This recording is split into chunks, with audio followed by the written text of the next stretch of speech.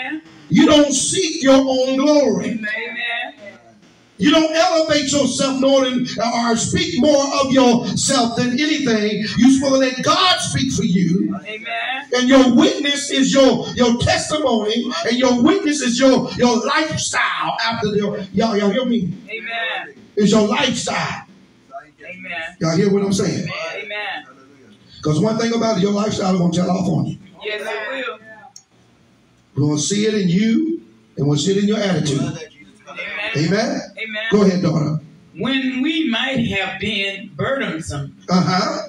as the apostles of Christ, Of Christ. but we were gentle among We was gentle among you. even as a nurse cherishes her children. Her children. Come on and read. So being affectionately desirous of you, Come on and read. we were willing to have imparted unto you Y'all hear this? not the gospel of God only, Uh-huh. but also our own soul. See, when God raised you up and God give you people to, to, to, to submit up under, those that are working up under you, amen, you will want to depart your own soul into them because you love them so much. Paul showed the Thessalonians that I love you so much, I wish I could give you my own soul. My God, You hear me? that's love.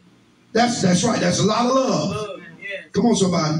But Paul knew he could not do that yes. because only God can give people his soul. That's right. Amen. Amen. But he said, Y'all was very gentle among you.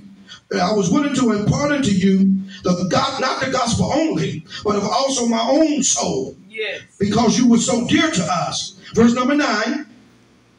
For ye remember, brethren, our labor and travail, for laboring night and day, because we would not be chargeable Chargeable unto any of you. unto any of you. We preach unto you the gospel of God. Come on. You are witnesses, and God also, Uh-huh. how holily and justly and unblameable we have behaved ourselves Behaved ourselves among you that believe. that believe. Read. As ye, as ye know how we exhorted and comforted and charge every one of you, Uh-huh. as a father does his children, Does the father does his children. that you would walk worthy of God, Uh-huh.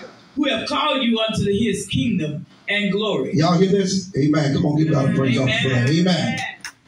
Yeah. All right. Um, who did I give uh, Galatians? Galatians to. Minister Barton. Minister Barbara, give me uh, Galatians chapter uh, 4 and 19. Elder, I need you to get um, um, 2 Timothy chapter 1. We'll, we'll get you to read that um, in a little bit here. Um, Brother Corey, you got what? First Timothy chapter 1? Okay. Um, thank you, Lord.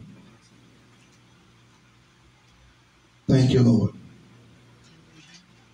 Did you raise your hand? Yes, sir. Go ahead. Uh, give an honor to God, all those who are present to my apostle. Bless you, sir. Um, when you have Christ Uh-huh. in you, no matter what you,